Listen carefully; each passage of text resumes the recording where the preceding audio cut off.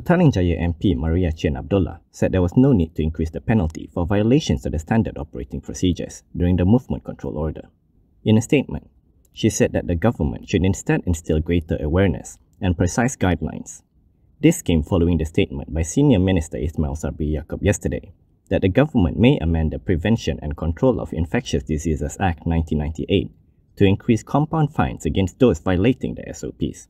Maria said, that ministers must first stop flouting the SOP. She said that this is as it will only bring great disrepute to the SOP when these top officials are not punished for their violation. She added that the government should have aggressive campaigns on all platforms to raise awareness on the guidelines amongst the rakyat, and they could even make daily announcements via mobile vans. Maria also suggested that the government release specific data on the daily COVID-19 cases including giving details on districts and towns. Lastly, she called on the government to provide clear guidelines on what the SOP entails, as it currently seems to be at the discretion of the police.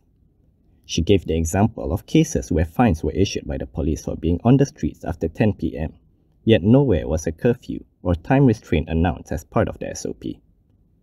Maria said, statements that the government will protect the economy and people's lives are heard many times. Unfortunately, clarity is not part of the equation.